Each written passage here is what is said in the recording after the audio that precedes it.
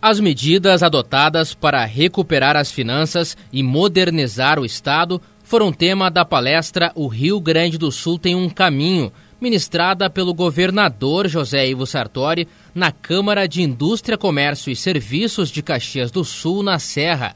A reunião almoço contou com a presença de autoridades e empresários filiados à instituição. Na apresentação, Sartori citou os avanços obtidos na área social, na segurança pública, infraestrutura e na atração de investimentos ao Estado. Não foi a dificuldade financeira do Estado do Rio Grande do Sul que nos paralisou. Nós não paralisamos e nós, nos, nos ajudou a tomar atitude e é mais ou menos que nem o gaúcho é. Tem que ser pioneiro, tem que andar na frente por isso que o Rio Grande do Sul foi o primeiro que percebeu a dificuldade e a crise econômica brasileira.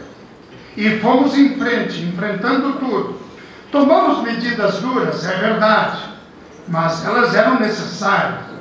Então, tudo está preparado para ingressar num novo ciclo de desenvolvimento econômico e social. No encontro, também foi assinado o início das obras de duplicação de trecho da BR-116, localizado em Caxias do Sul.